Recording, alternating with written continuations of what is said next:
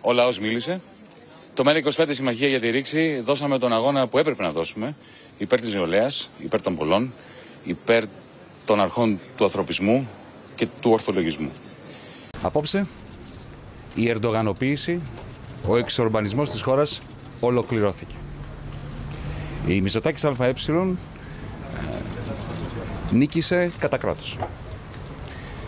Αυτό οφείλεται σε μεγάλο βαθμό στην ηγεσία του ΣΥΡΙΖΑ που ενταφίεσε την απλή αναλογική, μη αποδεχόμενη την πρότασή μας εδώ και δύο χρόνια για μια σύγκληση προεκλογική σε ένα κοινό μέτωπο ρήξης, με αποτέλεσμα να αναδυθεί αυτό το απίστευτο τσουνάμι, το μέτωπο της συντήρησης.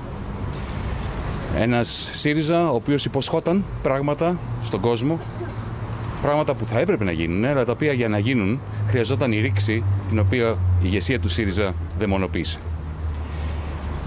Η δική μας ήττα απόψε θα μπει στο μικροσκόπιο της αυστηρής αυτοκριτικής μας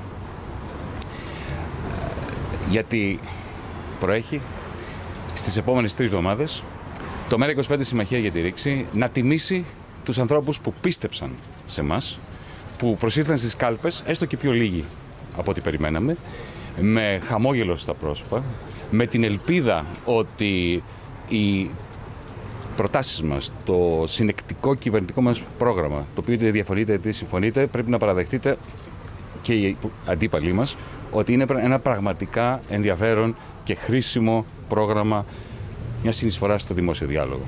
Αυτό το πρόγραμμα θα ξανακατατεθεί τις επόμενες εβδομάδες με την αυτοκριτική που θα κάνουμε και φαντάζομαι και με πάρα πολύ κόσμο εκεί έξω που δεν μας ψήφισε και που σήμερα γνωρίζει ότι οι ολιγάρχες ανοίγουν σαμπάνιες γιατί ελπίζουν ότι δεν θα είμαστε ξανά στη Βουλή να τους ονοματίζουμε και να περιγράφουμε τα εγκλήματά τους. Θεωρώ ότι η επόμενη κάλπη θα είναι πολύ διαφορετική, ελπίζω να είναι διαφορετική. Έχουμε ιερή προχωρέωση, όλοι οι προοδευτικοί άνθρωποι, να βάλουμε τέλος, φρένο στον εξορμπανισμό, στην ερντογανοποίηση αυτής της χώρας. Σας ευχαριστώ πολύ.